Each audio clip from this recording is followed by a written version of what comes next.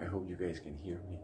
Today is one of those days that uh, the workout is slow, you know, meaning shorter, because we have a lot of things to do. I just make sure that 20, 20 minutes get done and uh, that um, I work out most of the uh, the body, you know, all the parts of the body, the legs, the arms, and so on, and I do a little bit of cardio.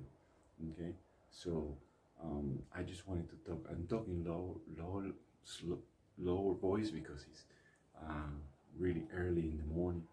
We actually uh, got up before five, so around four forty-five.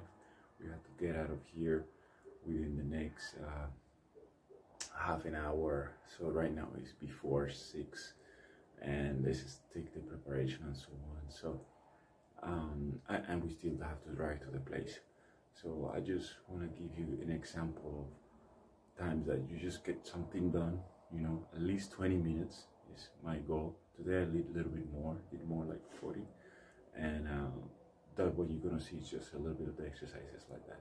Okay, ciao.